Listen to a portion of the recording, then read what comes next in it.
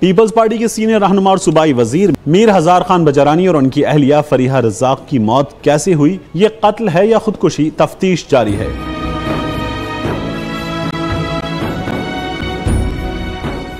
آئی جی سندھ، اے D خواجہ کا کہنا ہے کہ میر ہزار خان بجرانی اور ان کی اہلیہ کو ایک ایک گولی لگی۔ قتل یا خودکشی کے بارے میں کوئی حتمی بات نہیں کہہ سکتے۔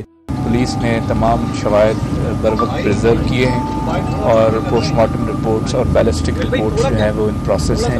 جنہ اسپتال میں دونوں لاشوں کا پوسٹ مارٹم جاری ہے۔ چار رکنی میڈیکل بورڈ کی سربراہ ڈاکٹر سیمی جمالی کہتی ہیں کہ میر ہزار خان کے سر پر ایک گولی کا نشان ہے، جبکہ ان کی اہلیہ کی لاش پر تین گولیوں کے نشانات دیکھے گئے ہیں۔ حتمی رپورٹ پوسٹ مارٹم کے بعد آئے گی۔ صاحب کے سر میں گولی لگی ہوئی تھی اور انیشلی یہ دیکھا گیا اور ایکس ریز کی گئی ہیں وہاں پر ایمرجنسی کے اندر۔ دوسری جو ان کی اہلیہ تھی ان کے بھی سر کی ایکس ریز اور باڈی کے ایکس ریز کیے گئے۔